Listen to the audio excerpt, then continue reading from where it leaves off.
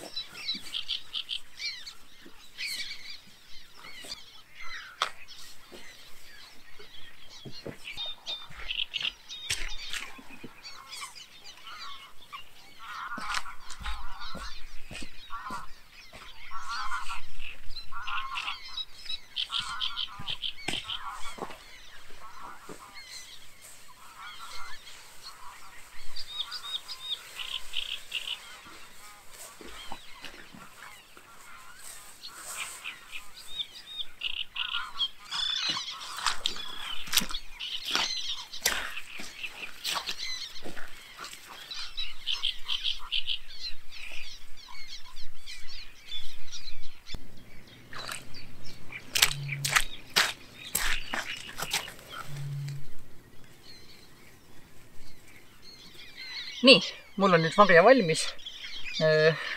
pikad kummipüksid on jalas ja nüüd ei ole muud midagi, kui lähme vette. järve peal elu käib, ma juba nägin siin mustviireid lendamas, hüüpi kuulsin. enne olid kaks mudatiildrit niisamas kalda ääres. nii et elu käib ja loodetavasti saame kellegi pildile ka. Lähme vaatame.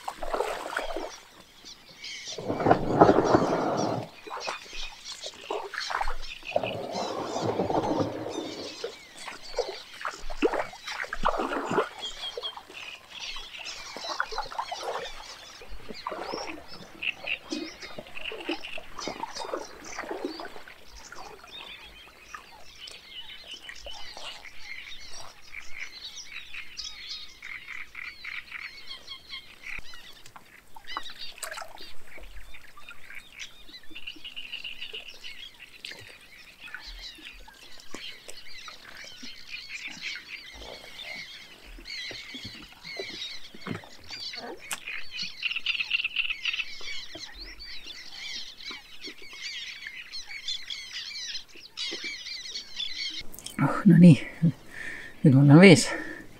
vesi on päris jahe, aga ei ole hullu. vaatan, et seal eemal ongi juba kaks tuttpütti. päris kaugel. vaatame, äkki õnnestub ligemale hiilida, saame võib-olla mõned pildid ka. praegu on vesi veel päris kõrge, nii et kohati on siin üsna ebamugav liikuda. ehk siis põhi kaob jalge alt ära. ja, ja siis sa pead siin vangega kuidagi ujuma ja hakkama saama, aga hiljem mai lõpupoole, juuni alguses, siis on veetase juba madalam, siis on siin ka mugavam liikuda. ja vaatame, kuidas me siit koostikust mööda saame.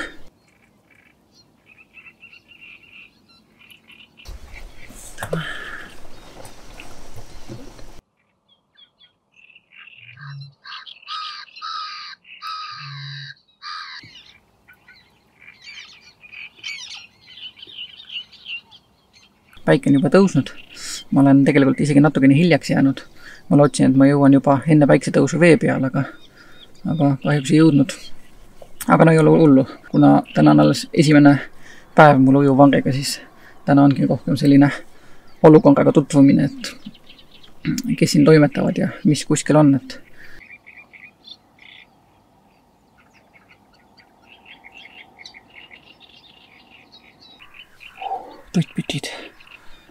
tuttpütid siinsamas otse ees.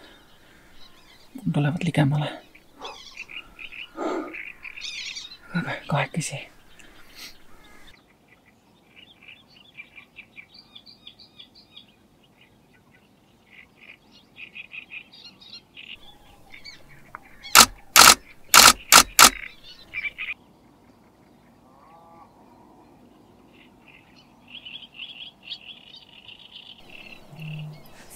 Ma ei tea, kas te kuulete, aga hüüp huikab praegu. see on umbes selline heli nagu äh,, nagu tekib siis, kui pudeli sisse niimoodi puhuta. niisugune uh, uh, sihuke madal, väga äge. Nonii, aga egas midagi, ma proovin siit sellest sügavamast kohast üle saada teisele poole sinna vesikuppude juurde. üks vesikana on siinsamas ligidal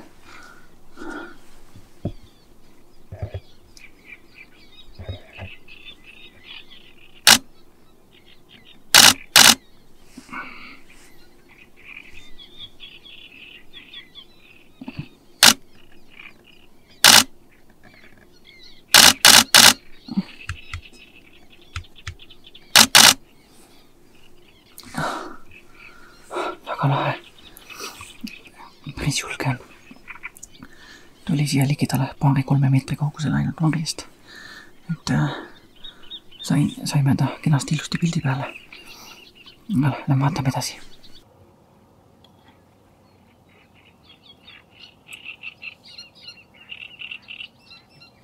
nii, aga päike on juba kõrgel, valgus on terav. nii et äh, ma hakkan tagasi kalda poole minema ja, ja, ja kui on ilus ilm, ilus õhtu, siis võib-olla tulen juba täna õhtul veel tagasi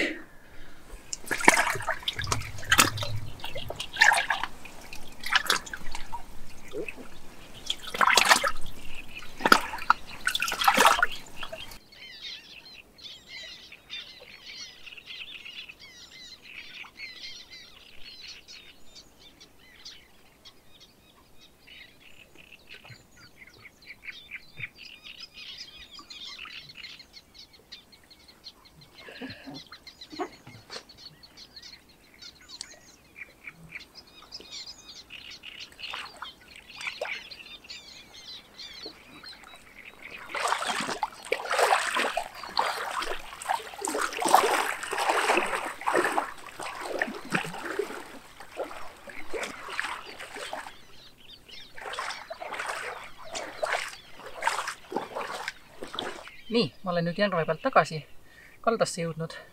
täna hommikuks on pildistamine läbi ja ma arvan, et esimese konga kohta võime jääda väga kahvule, sellepärast et nägime vesikana, tuttpütti, saime neid ka lähedalt pildistada. nii et mina olen igatahes väga rahul. aga olgu, nüüd ma pakin oma asjad siin kokku ja näeme teiega juba jälle järgmisel kongal. tšau